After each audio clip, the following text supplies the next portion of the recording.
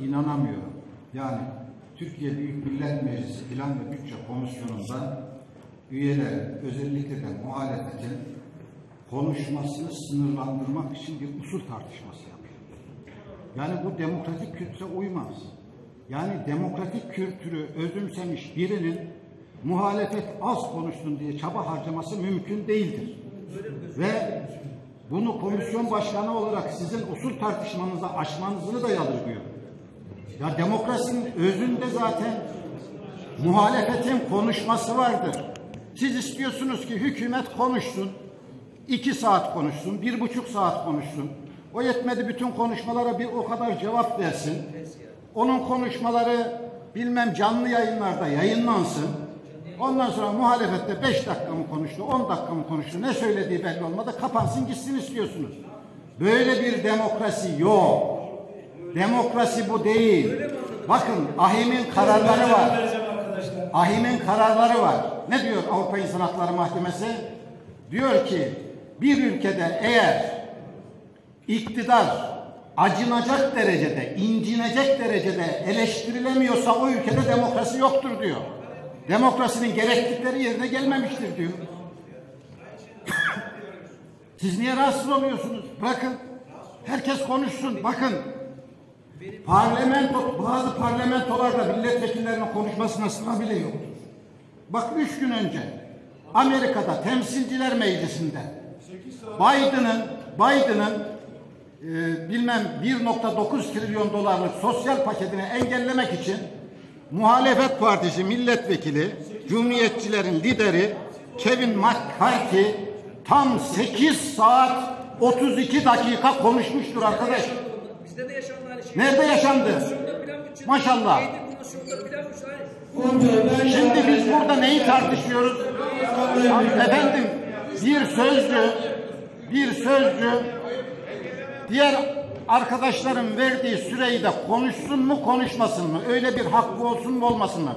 Gerçekten çok komik, çok matrah, demokrasi kavramını anlamış birinin bunu tartışmaya açması mümkün değil. Bundan vazgeçin. Bakanlığın değerli bürokratları hepinizi sevgi ve saygıyla selamlıyorum. 2022 bütçesinin ülkemize ve bakanlığa hayırlı olmasını diliyorum.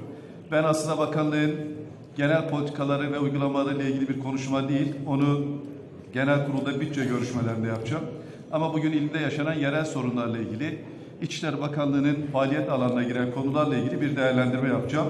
Ve beklentilerimizi, ilim beklentilerini buradan ifade edeceğim. Önce şunu ifade edeyim. Sayın Valim, Sayın Bakanım, e, ilimize yeni bir vali ataması gerçekleşti. Bu valinin atanmış olmasından duyduğumuz memnuniyeti önce ifade edeyim.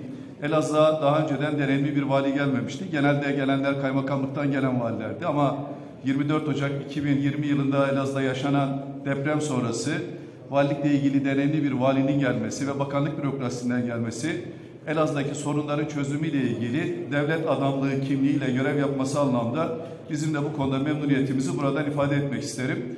Çünkü ilin AK Partili milletvekillerinin toplumun beklentileri, vatandaşların mağduriyetlerin giderilmesiyle ilgili çok aktif olmayınca haliyle doğal olarak oradaki talepler devleti temsil eden vali üzerinden gündeme getirilmekteydi. Ama siyasetle vali oradaki bir anlaşmazlıktan kaynaklı vatandaş mağdur edilmişti.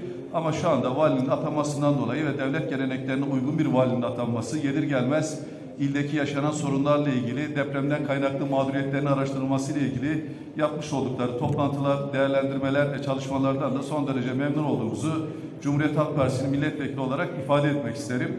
Sayın Bakanım tabii buradaki konuşmaların geneli işte uyuşturucu kaçakçılığı ile ilgili, terörle ilgili, iç güvenlik meseleleri ilgili değerlendirmeler yapıldı. Bakanlığınızın çok yetkili alanı olan bir bakanlık, faaliyet alanlarının ve yetki alanlarının aslında çok geniş olduğu bir bakanlık. İşte afetlerden sorumlu, afet başkanlığının da baş bağlı olduğu bir bakanlık. Bizim ilimizde de geçmişte bir deprem yaşandı. Depremden kaynaklı henüz belirgin olmayan, hala meçhul olan ve ne olacağı da belli olmayan birkaç sorunumuz ve beklentimiz var. Bunları bakanlık bürokrasinizin huzurunda da sizlere iletmek isterdim. Birincisi hala deprem konutlarının fiyatları belli değil Sayın Bakanım. Yani 2020'de yapılacak yapılmış olan konutlarla bugün yapılan konutların fiyatlarının ne olacağı henüz belli değil. Kurallar çekildi, vatandaş evine taşındı, taşındı. Ama henüz deprem konutlarının fiyatları belli değil. Ne ödeyecekleri belli değil. Ayrıca köylerde evler yapılıyor Sayın Bakanım. Bu son döviz artışından dolayı çelik evler yapıldığı için çelik evlerinin maliyetleri inanılmaz arttı. Yani neredeyse köyde yapılan bir evin maliyeti 800-9 bin liraya yakın bir maliyet gerektirdi. Bunların Çevre ve Şehircilik Bakanlığı komisyonda da iletmiştim. Çelik evlerden vazgeçilerek Malatya'da yapılan betonarme iki katlı evlerin bundan sonra Elazığ'da yapılması ile ilgili bir talebimiz var. Bir de Sayın Bakanım önemli olan bir konu daha şu. Şimdi sonuç itibariyle depremden sonra bir planlama yapıldı. Gerçekten devlet inanılmaz kaynak aktardı. Acil müdahalelerle ilgili inanılmaz hızlı şekilde kararlar aldı, tedbirler aldı. Şu anda TOKİ orada yaklaşık 24-25 bin konutun yapılmaması ile ilgili bir planlama içinde. Bunların birçoğu da gerçekleşti. Şimdi soru şu. Eğer 2020 yılı Ocak ayında yapılan konutların fiyatı ne olacak? Ve henüz daha temeli atılmayan ve şu anda yapımı devam eden, teslim edilmeyen konutların fiyatları arasındaki fark ne olacak? Yani siz hangi fiyat uygulayacaksınız? 2020'nin ilk temel atılan depremden sonraki fiyat üzerinden mi ki bütün mağdurlardan parasını alacaksınız? Yoksa en son yapılan yapıldığı tarihlere göreki inşaat maliyetleri üzerinden mi? Burada mağdurlar arasından inşaatların maliyetleriyle ilgili inanılmaz bir haksızlık ve adaletsizlik olacak. Bunların değerlendirmesiyle ilgili taleplerimizi bakanlık bürokrasisinin ve sizin bilginize sunuyorum. Tekrar bakanlık bütçenizin hayırlı olmasını diliyorum. Başarılar dilerim. Çok teşekkür ediyorum Mürsel Bey. Şimdi Ahmet Çıklı'ya söz vereceğim ama ile ilgili işte spekülasyonları, tartışmalarla ilgili bir soru yöneltilince hiçbir zaman bu soruya cevap vermiyor. Sadece burada değil, işte televizyon programlarında da bir takım polemiklere ve en sonunda gidiyor ben terörle mücadele yaptığım için bunu söylüyorlar. Sayın Bakanım, İçişleri Bakanısınız. İçişleri Bakanı'nın 600 bine yakın personel var ve hepsine teşekkür ediyoruz. Hem terörle mücadele ettikleri için hem de e, güvenliğimiz için, gece gündüz çalıştıkları için şehit veriyorlar, gazi veriyorlar. Hepsine teşekkür ediyoruz. Bu başka bir konudur. Size yöneltilen sorunlar başka bir konudur. Dolayısıyla bunu bunu yapmayın. Sayın Bakanım, bakın sizden önce hiçbir bakan, hiçbir bakan şöyle bir laf etmemiştir. Görevim gereği mahrem bilgilere sahip Böyle bir laf hiçbir bakan Türkiye Cumhuriyeti'nin İçişleri Bakanlarının hiçbiri söylememiştir. Faruk Sukan bile söylememiştir. Allah rahmet eylesin. Ne demek Sayın Bakanım bu? Yani kimin hakkında, hangileri hakkında böyle göreviniz gereği mahrem bilgilere sahipsiniz?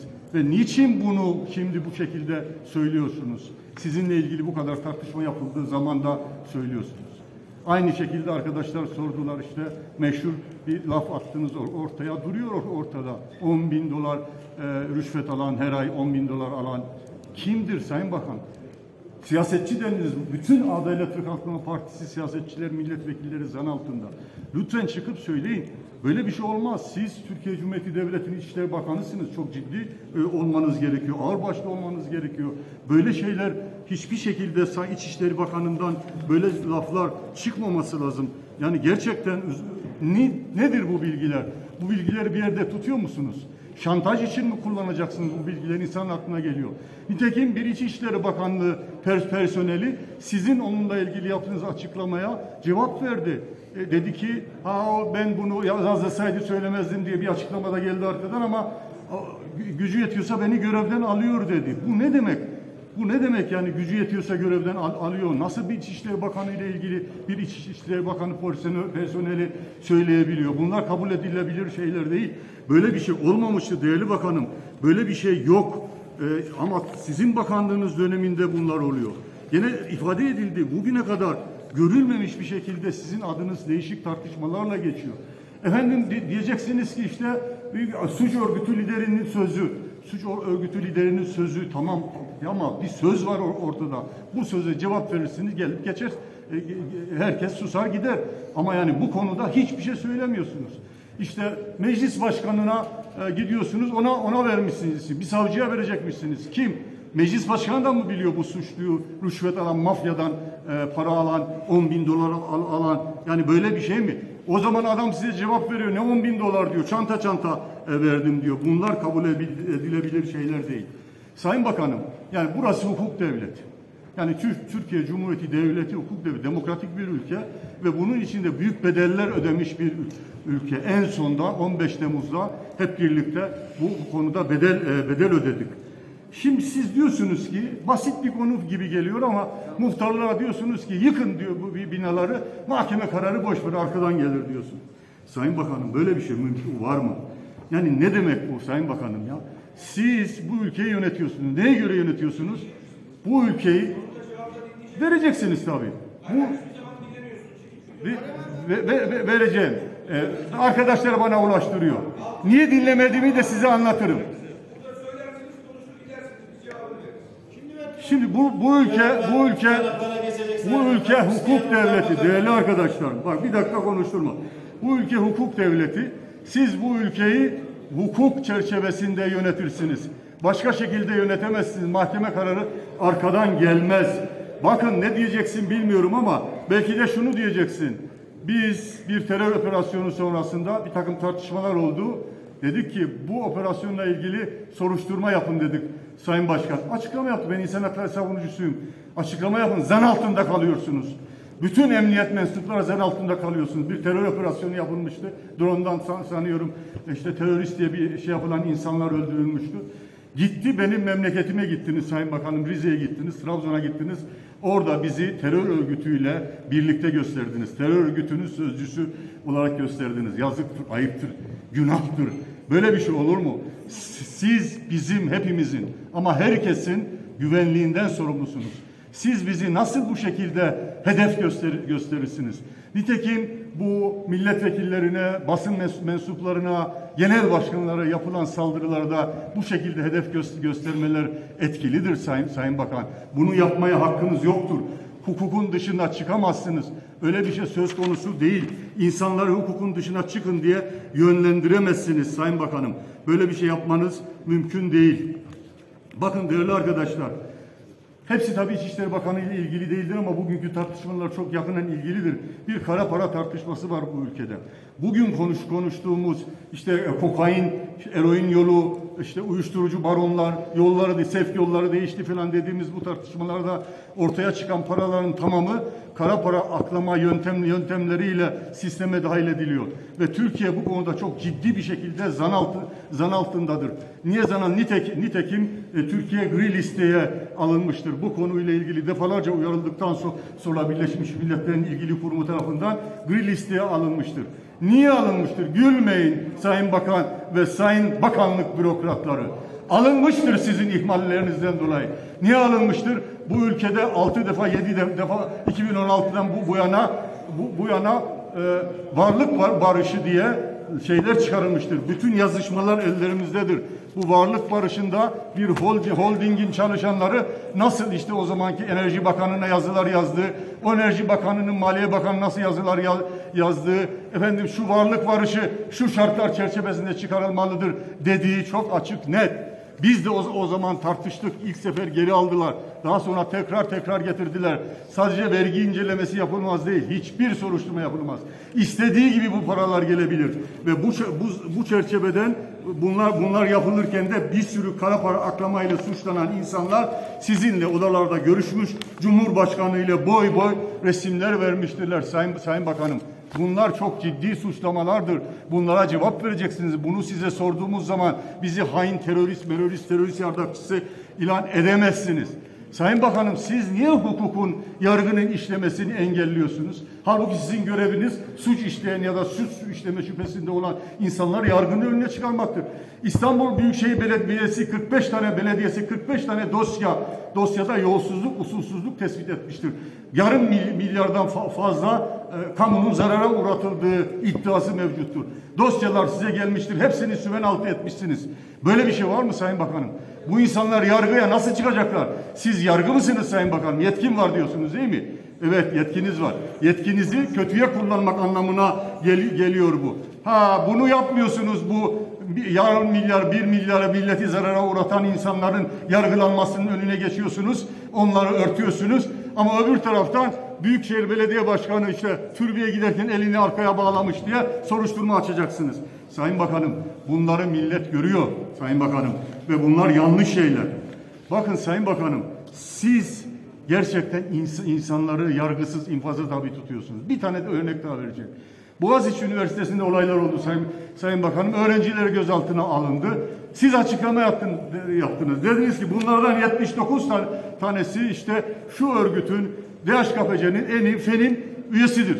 Sayın Bakan Şimdi ben soruyorum, ben takip ettim. Bunlarla ilgili bu örgüt üyeliklerinden dolayı hiç dava açılmadı. İddianame hazırlanmadı, iddianame kabul edilmedi. Sayın Bakan siz nasıl oluyor da bu kadar kolay bir şekilde insanları yargılayıp mahkum ediyorsunuz? Böyle bir hakkınız var mı? Bize de aynı şey yapıyorsunuz. Dönüyorsunuz sizin şunlarla bağlantınız var. Şöylesiniz, böylesiniz. Siz nesiniz Sayın Bakanım ya? Böyle bir şey, böyle bir şey var mı? Böyle bir şey olmaz. Bakın biraz evvel ifade ettim. Siz bu ülkede herkesin güvenliğinden sorumlusunuz. Yani sizin bu açıklamalarınızdan dolayı insanlar hedefe konuluyor.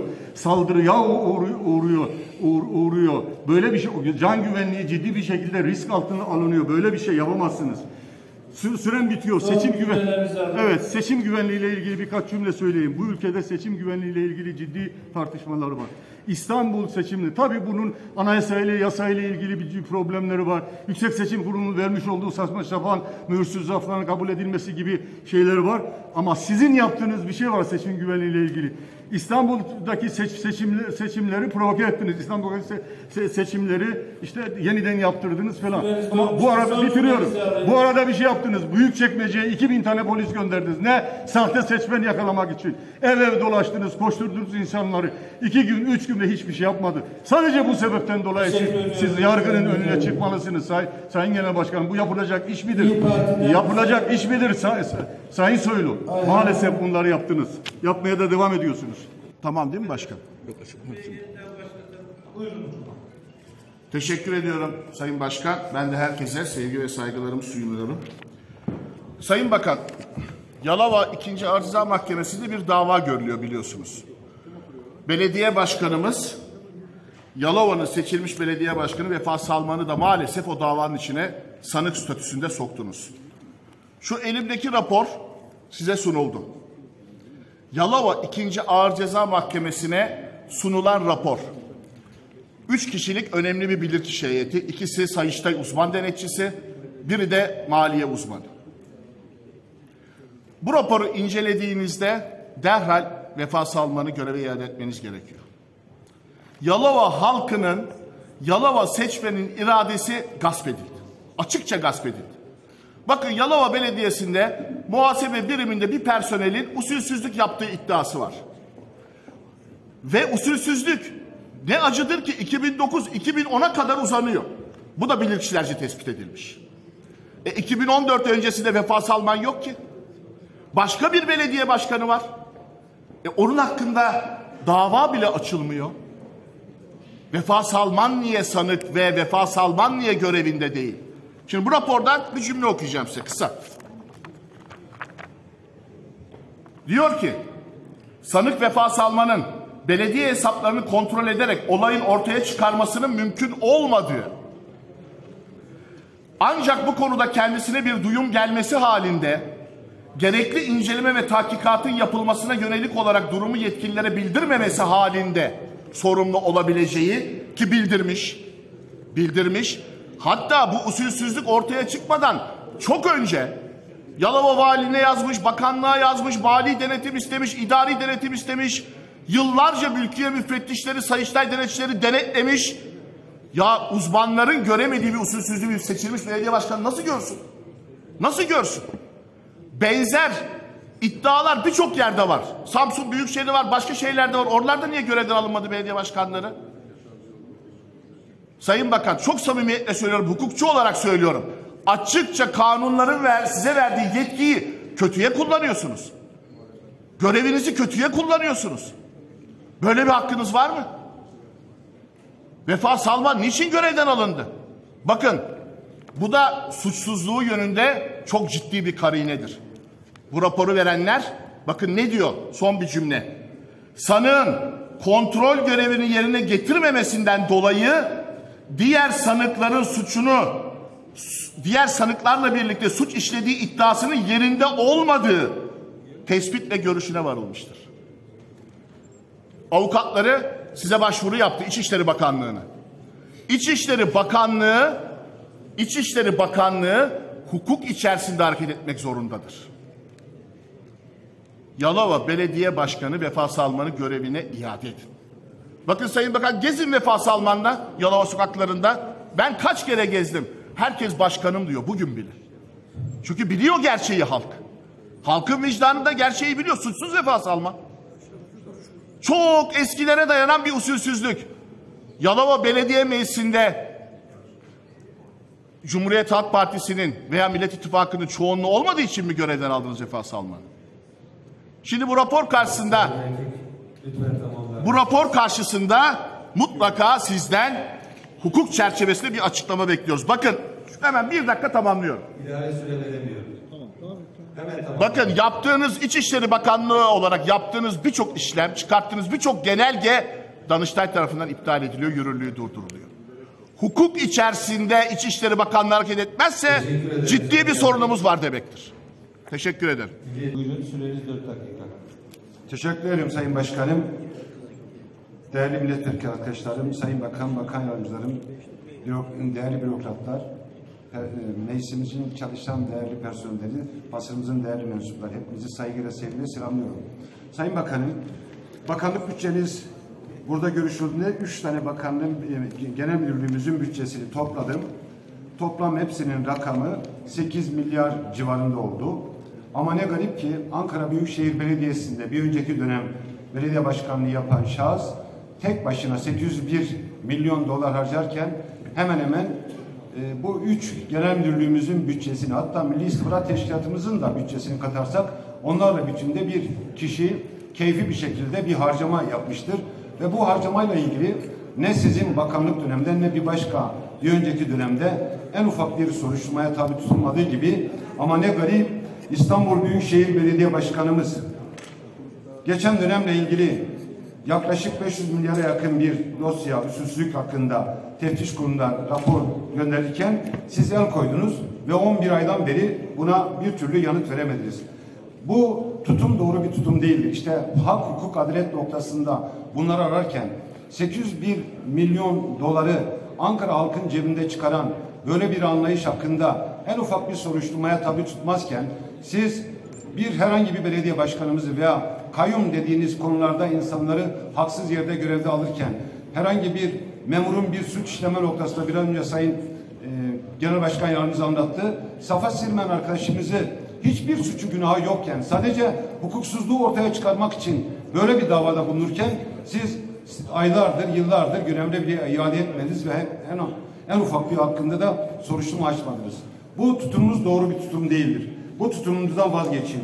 Ama oturduğunuz yerde konuşan arkadaşlarınıza laf atıyorsunuz. Cevap verirken de doğru düz bir cevap verme noktasına girmiyorsunuz. Bunu doğru görmüyoruz. Ben jandarma komutanlığımızla ilgili bazı şeylerde bahsetmek istiyorum.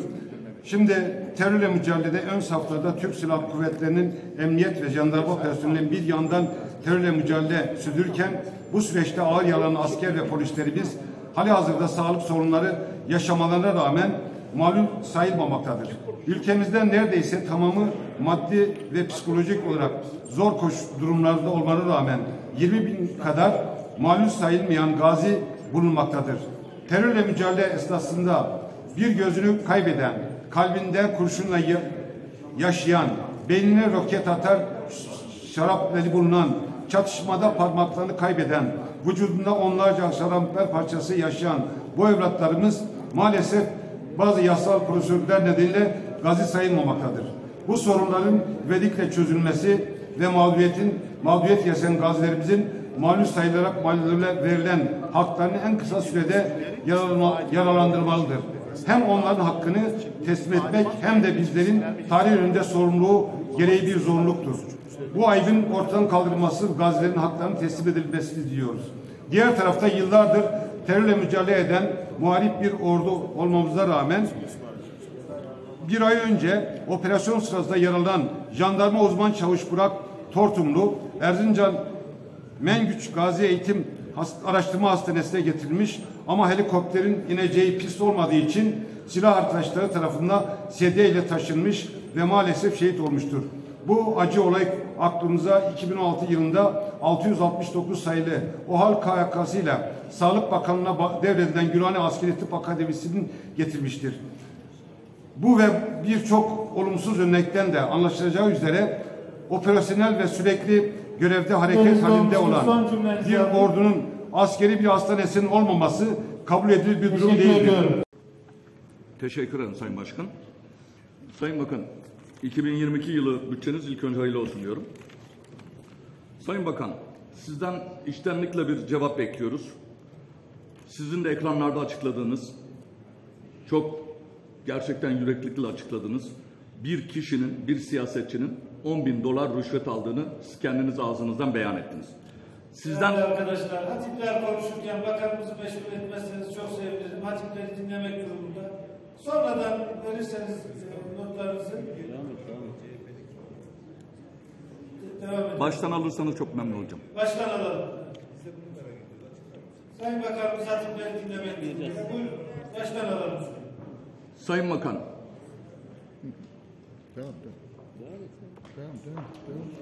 İlk önce 2022 yılı bütçeniz hayırlı olsun. Sayın Bakan, sizin ekranlarda çok açık yüreklikle e, açıkladığınız 10 bin dolar rüşvet alan siyasetçi 83 milyon adına ben de Özkan Yalı Uşak milletvekili olarak soruyorum. Sizden tüm vicdanlar adına bu kişiyi açıklayın. Hem Türkiye Büyük Millet Meclisi bu zandan kurtulsun, siz de bu zan altında kalmayın diyorum. Diğer bir taraftan Sayın Bakan, Biraz önce sunumunuzda siz açıkladınız. Nüfus arttı, ülkenin nüfusu arttı. Ancak yaklaşık 30 yıldır İstanbul'daki taksi sayısı aynı. Ancak her nedense İstanbul Belediyesi'nin 5000 adet taksi artırımıyla alakalı reddettiriyorsunuz. Bununla alakalı İstanbulluları adına bu, bunu onaylamanızı özellikle talep ediyoruz. Bir konuda yine İstanbul Belediyesi ile alakalı. Bu çok önemli Sayın Bakan bir not alırsanız. 590 bin dolara İstanbul Büyükşehir Belediyesi Skorsky marka bir Çanakkale'den bir helikopter alıyor. Her nasılsa seçimlere 2018 yerel seçimlerine iki ay kala Şubat ayında 113 bin dolara bu helikopteri satıyor. Bu e, ciddi anlamda İstanbul Belediyesi'nin bir kaybı var. Bunu araştırılmasını özellikle sizden talep ediyoruz. Sayın Bakan, tabii ki sizin de personeliniz olan polislerimize ve de bunun yanında öğretmenlerimize ve din görevlerimize, hemşirelerimize 3600'de bir an önce uygulamanızı canı gönülden destekliyoruz. Sayın İçişleri Bakanı, koruma hizmetlerinin yasa gereği gizlilik içerisinde yürütüldüğünü belirterek soru önergelerimize cevap alamıyoruz. Bu soru önergelerimizi defalarca sormamıza rağmen her na- nasılsa e, bunlara cevap alamıyoruz. Ben kısaca şu soruyu sormak istiyorum. Birçok soru önergemiz yanıtsız bırakıldı. Ancak biz sizden şunu özellikle e, sormak istiyoruz. Barış Terkoğlu ve Barış Pehlivan hakkında var olan çağrı üzerine koruma tedbiri hangi gerekçe ile kaldırılmıştır? Söz konusu kararın alındığı tarihin İçişleri Bakanı Sayın Süleyman Soylu'nun gazeteci Barış Terkoğlu'nun hakkında yaptığı açıklamalar ile aynı güne denk gelmesi sizce tesadüf müdür Sayın Bakan? Sayın Bakan biliyorsunuz Sayın Genel Başkanımız Kemal Kılıçdaroğlu'na 21 Nisan 2019'da Ankara'nın Çubuk ilçesi Akkuzu köyünde katıldığı şehit cenazesinde linç girişiminde bulunulmuştur.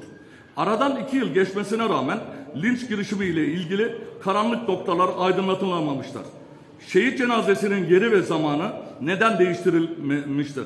Bölgedeki jandarma istihbaratının Akkuzulu köyündeki gerilim ve hazırlığa yönelik bir duyumu tespiti olmamış mıdır? Neden soruşturma dosyasında istihbarat tespit tutanaklarına yer verilmemiştir?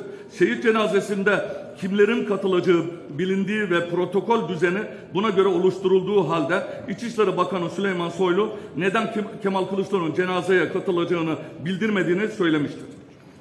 CHP Genel Başkanımız Kemal Kılıçdaroğlu'na tören alanında girişiyle başlayan ve cenaze namazının kılınmasına dahi engel oluşturan gerilim nedeniyle ilk safhada önüne geçilememiştir. Durum tespiti yapıldıktan sonra neden güvenlik tespit e, tedbirleri alınamamıştır yeterince?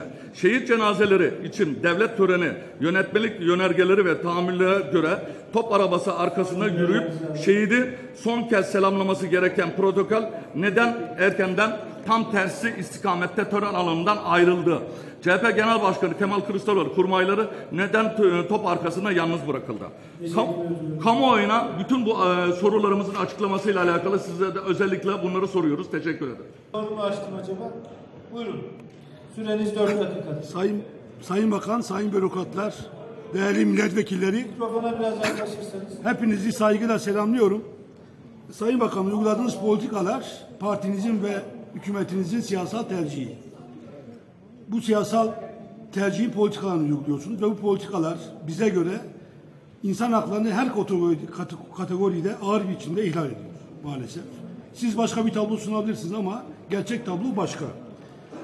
80'li yılları, 90'lı yılları, 2000'li yılları ve bugünü değerlendirme imkanına sahibim. O dönemleri yaşamış, mücadele etmiş bir insan olarak. Bakın insan hakları ihlallerini denetlemede ve önlemede değişik mekanizmalar vardır. 80'li 90'lı yıllarda olan mekanizmalar maalesef şu anda yok ve lav edilmiş durumda. Ne o mekanizmalar size söyleyeyim. Bir, yargı. İnsan hakları ihlalleri önlemesi önemli bir mekanizmadır. 90'lı yıllarda iyi kötü bir yargı vardı, gidebiliyorduk. Ama şimdi kurum olarak yargı yok. Yürütme organının parçası olan bir yargı kurumu var. İkinci olarak medya. Bakın 90'lı yıllarda dışkı yedirme olayını yazabilen merkez medya vardı, yaygın medya vardı. Ama şimdi işkence olayları, kötü muamele, yaşam hakkı ihlallerini yazabilen bir medya yok, yaygın medya yok. Üçüncü olarak parlamento. Daha çoğulcu bir parlamento yapısı vardı. İnsan hakları ihlallerini önlemede, önlemede. Mesela 90'lı yıllarda İnsan Hakları Komisyonu vardı ki ben şimdi başkan vekiliyim. O komisyonun başkanı karakollarda işkence aletlerini bulabiliyordu. Ama ben başkan vekili olarak şimdi ne karakollara gidebiliyorum ne cezaevlerine gidebiliyorum. Üç parlamento. Dört, sivil toplum. Sivil toplum da insan hakları ihlallerinin önlenmesinde, denetlenmesinde iyi mekanizmaydı. Ama sivil toplumu da maalesef yok ettiniz. Tümünü yok ettiniz. Altıncı olarak akademi. Akademi insan hakları ihlallerinin önlenmesinde ve bilincin oluşmasında önemli bir mekanizmadır. Ama şimdi akademi de ortadan kaldırıldı. Akademisyenler ihraç edildi. Barış akademisyenleri bunun en büyük örneğidir. Akademide insan hakları ile ilgili çalışma yapmak neredeyse imkansız hale geldi. Son olarak uluslararası mekanizmalar. 90'lı yıllarda bu mekanizmaların raporlarından çekinen, çekinen ve adlarının o mekanizmaya geçmesini istemeyen hükümet vardı. Ama şimdi bu mekanizmaları yok sayan bir hükümet anlayışı var. Eğer olsaydı CPT'nin, Human Rights Watch'un ve diğer kuruluşların Afro Kültür'ün raporları bu kadar çok Türkiye aleyhine olmazdı. Bakın şimdi siz pembe bir tablo çizebilirsiniz. Ama sizin çizdiğiniz tabloyla bütün endeksler sizleri maalesef doğrulamıyor, aksine yalanlıyor. Mesela Türkiye hukukun üstünlüğü endeksinde 139 ülke arasında 117. Bunu yok sayabilirsiniz. Türkiye düşmanları diyebilirsiniz. Ama tablo bu. Yine basın özgürlüğü endeksinde Türkiye 15 yılda yani bu hükümet döneminde 55 sıra geriye gitti ve 180 ülke arasında 153. Barış endeksinde keza yine öyle. Dolayısıyla bir şeyi başardınız. Allah var. Hakkınızı teslim etmek lazım. Yani hükümet olarak söylüyorum. Şahsınızla ilgili değil. İnsan hakları ihlallerini Türkiye'nin bir bölgesinden aldınız. Bütün Türkiye'ye yaygınlaştırdınız. Türkiye'nin her bölgesi insan hakları ihlallerinden eşit bir biçimde yararlanıyor. Hiç kadın, erkek, inanç farkı gözetmeksizin bu ihlaller ağır bir biçimde her tarafta uygulanıyor. Son olarak şunu söyleyeceğim Sayın Bakan. Bakın Türkiye'de toplantı gösteri özgün olmadığının tek göstergesi var bana göre cumartesi anneleri. İki yıldır bir yerde oturamıyorlar. Oturamıyorlar ve cumartesi meydanında Galatasaray meydanında oradaki oradaki heykel tam iki yıldır tutuklu. Teşekkür ediyorum. Teşekkür ediyorum. Başarılar